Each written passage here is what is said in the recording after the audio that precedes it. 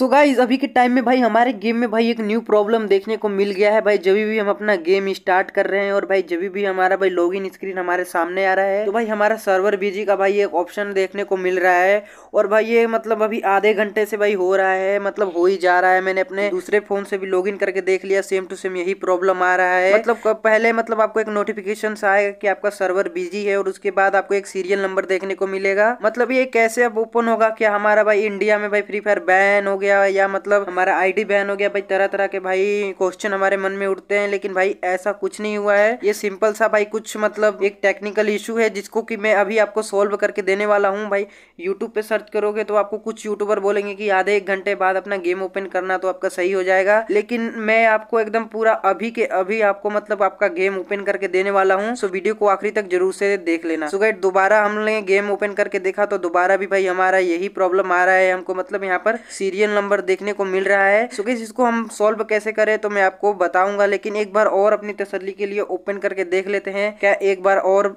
Open करने पे हमारा मतलब गेम ओपन हो जा रहा है या नहीं? तो भाई इस बार फिर हमारा भाई गेम ओपन नहीं हुआ है। हमारा सीरियल नंबर देखने को मिला है। गाइस आपको करना कुछ नहीं है। अगर ऐसे बार बार आप ओपन कर रहे हैं तो आपको सब कुछ मतलब मिनिमाइज से क्लियर कर देना है अपना गेम और दोबारा से ओपन करना है। और ओपन करने के बाद आपको सर्वर बिज़ी का नोटिफिकेशन मिलेगा और नोटिफिकेशन के बाद आपको भाई यहाँ पर सीरियल नंबर दिखाया जाएगा जो की भाई हमारा सीरियल नंबर बीस हज़ार होने वाला है।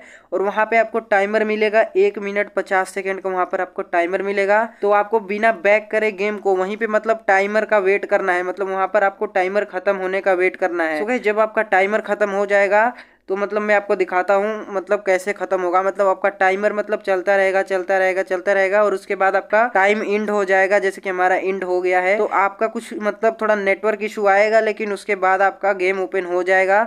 और गेम के अंदर जाके भी थोड़ा सा आपका नेटवर्क स्लो चलने वाला है।